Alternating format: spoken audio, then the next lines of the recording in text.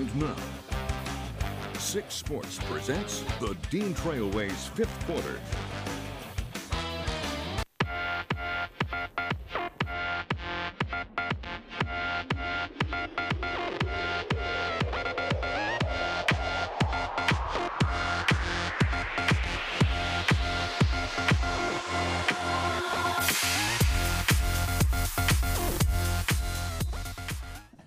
Uh, with the new landscape of college football, Friday nights are no longer just reserved for high school football as Michigan State kicked off with number six Oregon just after 9 o'clock tonight. Thanks as always for tuning in to the Dean Trailways fifth quarter. I'm Ian Kress. And I'm Haley Schongart. We'll get into our high school football highlights, no worries. But first, here's what's happening with Michigan State's football team. Yeah, halftime was just moments ago. Oregon was leading 21-0. Both teams did turn the ball over on their first drives of the game. And for MSU sophomore quarterback Aidan Chiles. He was 9 for 9 with 87 yards passing, but self-inflicted wounds are once again an issue for the Spartans. 32 penalty yards. Last time we checked in, it was 21-0 Ducks. The second half had just started, so we'll try to keep you updated as the show goes on. Well, on to our high school football teams. Fowler and Pewamo Westphalia are the cream of the crop uh -huh. in the CMAC year in and year out this year. No different. No different. It's why their clash is our big game.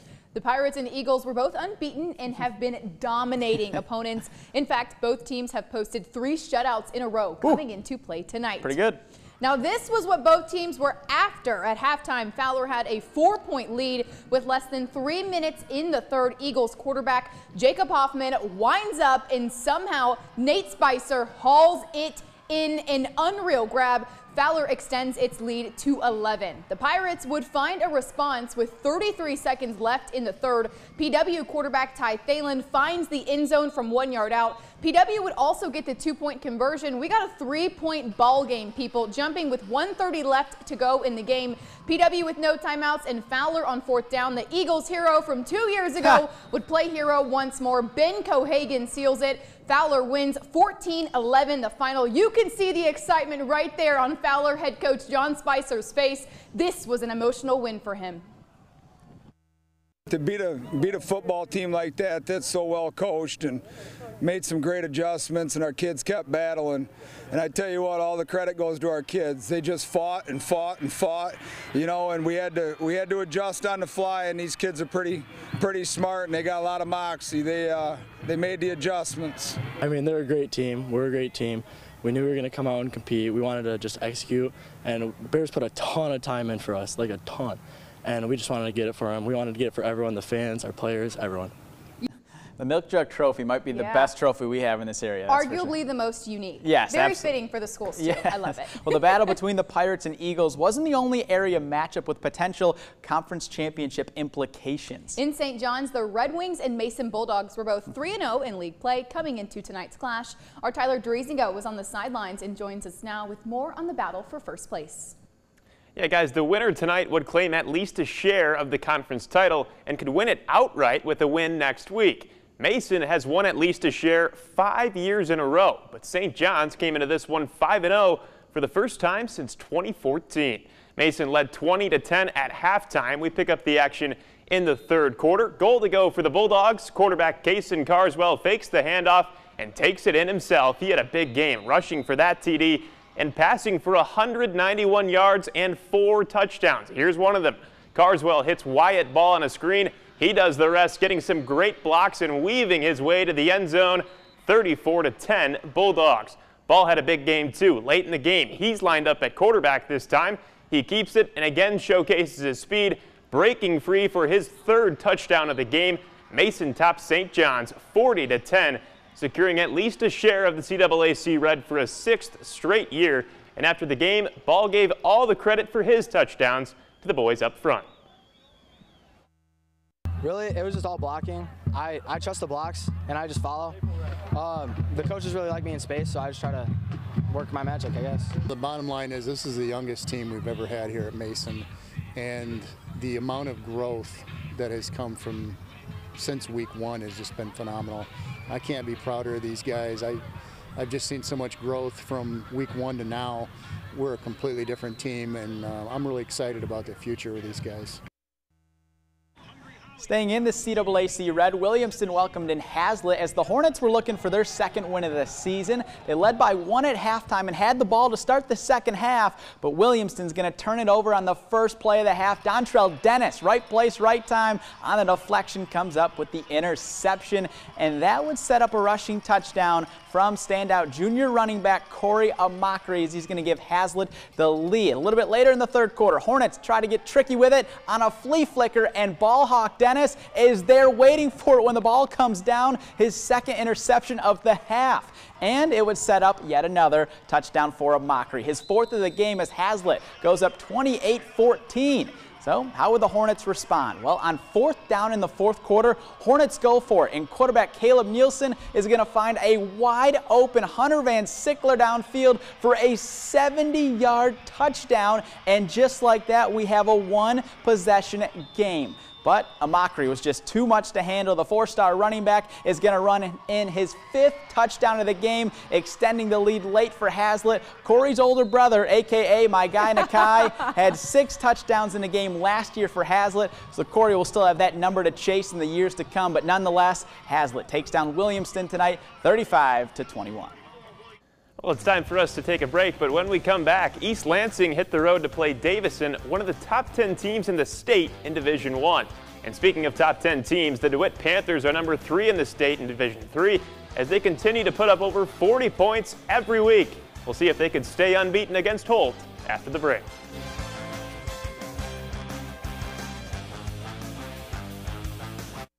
Look for the U.S. Army Fan Zone each week at the Six Sports Game of the Week. Try your skill at games, win great prizes, and more. What does it mean when people say America is a land of opportunity? It means the power to discover, to redefine yourself, to improve yourself, to challenge yourself, to realize there's more in you than you ever knew that you could do It means getting people an open field to explore what they do best. With the best tools, the best training, the best technology in the world. We bring out the best in the people who serve. So you can be all you can be. Kamala Harris pushed the far left Green New Deal. That means huge new taxes, increased utility bills, and banning gas cars. That's why I am committed to passing a Green New Deal and finally putting an end to fracking once and for all. Mm-mm-mm. Mama Kamala just don't give a frack. Kamala's fracking ban would kill jobs and raise gas prices. Kamala doesn't give a frack about you. Only President Trump will bring back Trump's strong economy. I'm Donald J. Trump, and I approve this message. The Sundance store is a boy a place to buy an automobile and get the payments a lot less, hopefully here, because the prices are less. And we've got all kinds of automobiles. We got certified brand new and over a thousand used cars. If you come down here and find a car that you like, we're going to saddle your kids up on a horse I'll tell you what, it's one moment that they just won't forget. They'll love it and they'll always remember it.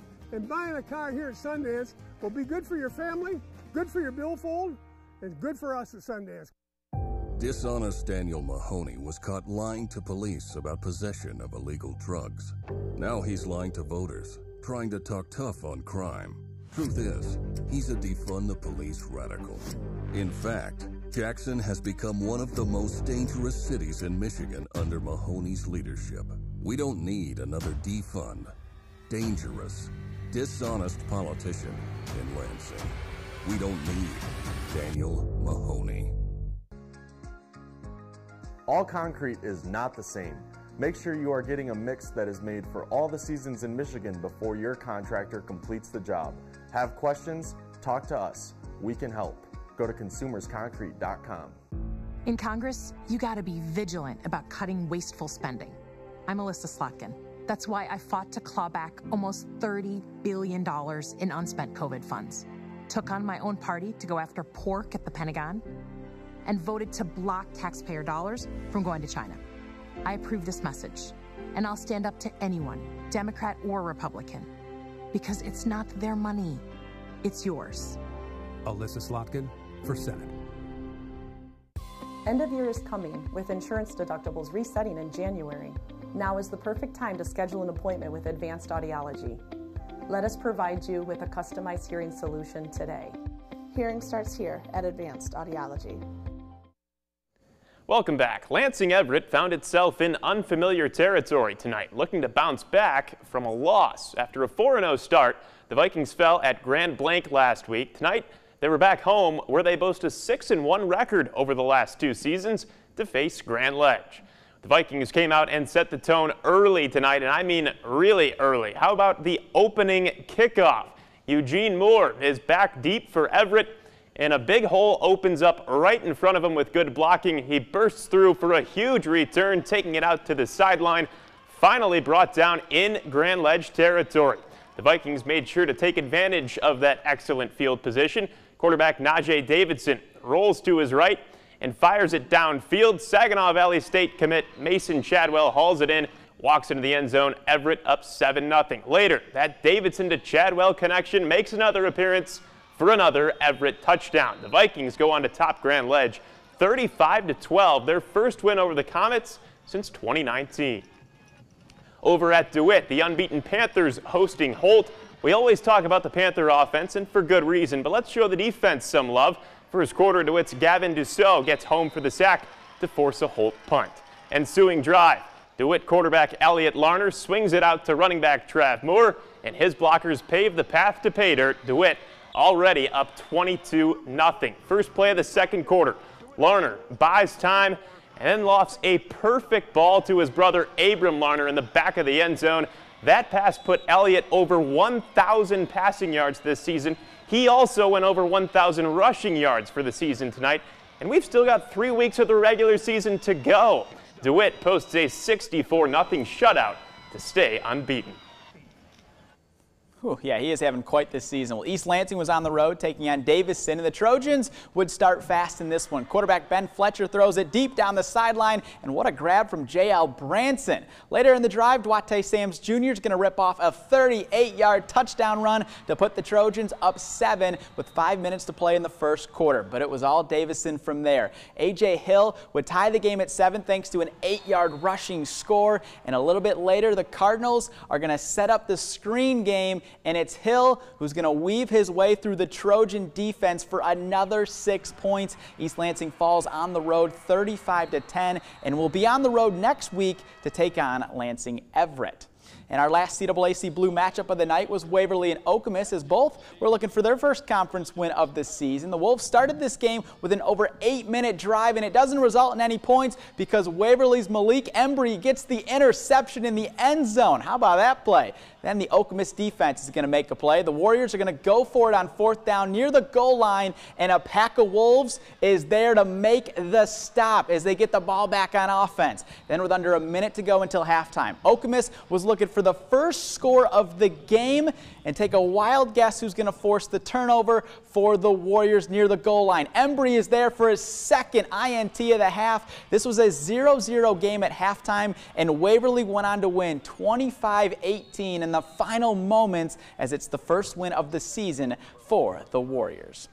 Well, shifting to the CAAC White now, everybody is chasing undefeated Portland after five weeks as the Raiders have been lighting up the scoreboard in recent weeks. To say the least, behind a dominant rushing attack, might we add, the Raiders have scored 35 Ooh. or more points in three straight games. That's pretty good. Tonight they welcomed in Eaton Rapids and would make a living in the end zone once again. The ball is going to be fumbled and Christopher Batley is going to jump on it in the end zone to make it 14-0 Portland in the first quarter. The Raiders would then force a punt, and this time it is going to land in the hands of Brady Rowe as he is going to take it, he's going to receive the punt here, and then he's going to turn the key like he's starting a car and drive straight to the end zone once he fields the kick. A burst of steam. It's another Portland touchdown, making it 21-0 early in the first quarter.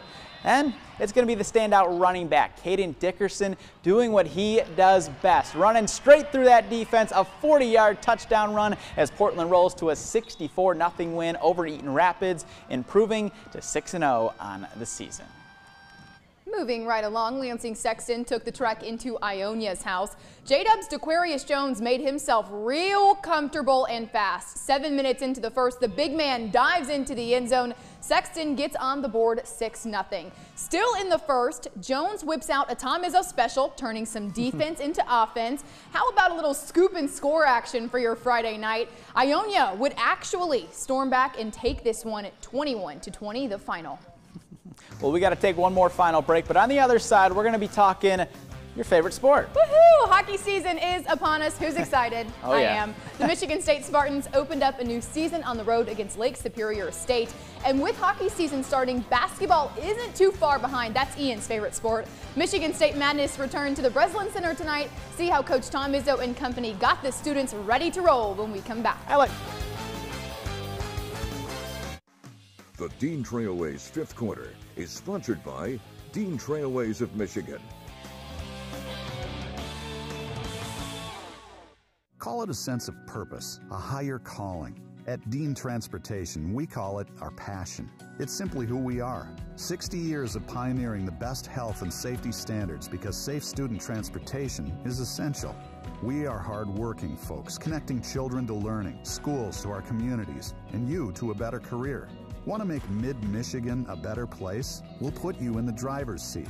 Join the Dean family today and help to connect our kids to brighter futures. Finding quality local businesses that are valuable, well reviewed, and have a respected identity can be challenging. Who do you trust? At MidMichigansBest.com, you can browse many business categories and discover trusted, well respected companies. There, you'll find out how to contact them, learn more about what they do, what sets them apart from their competition, and much more. Before you leave anything to chance, visit MidMichigansBest.com and start your search for reliable local businesses. We pick up the phone because it's ringing. Hello, this is Sam. That's simple human sense.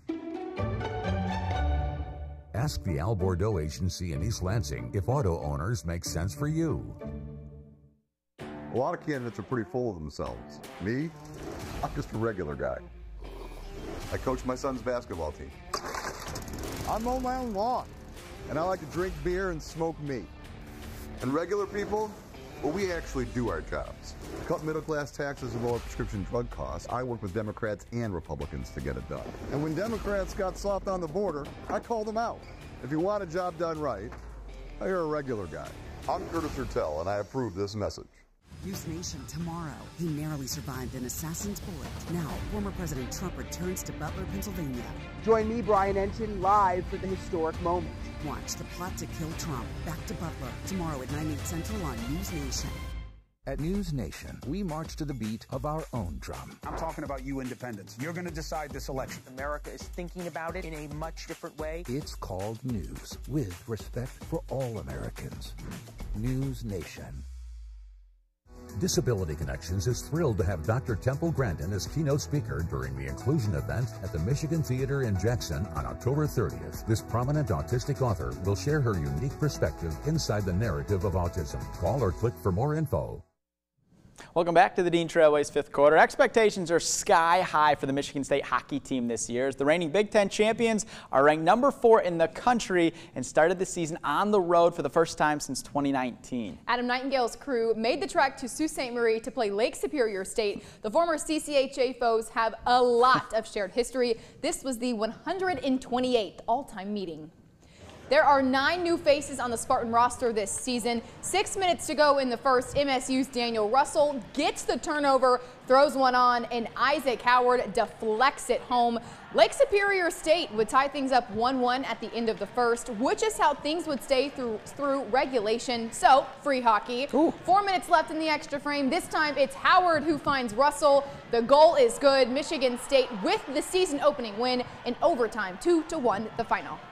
What a win. And tonight at the Breslin Center, both Michigan State basketball programs hosted Michigan State Madness, which used to be known as Midnight Madness. And for the coolest moment of the night, it was this. Hi, everybody, over at the Breslin Center. I am Steve Mariucci here in Los Angeles. You know Coach Izzo? He and I are best friends. I want to be the first to inform you, Tom Izzo, that your jersey number 10 will be retired at Northern Michigan University basketball.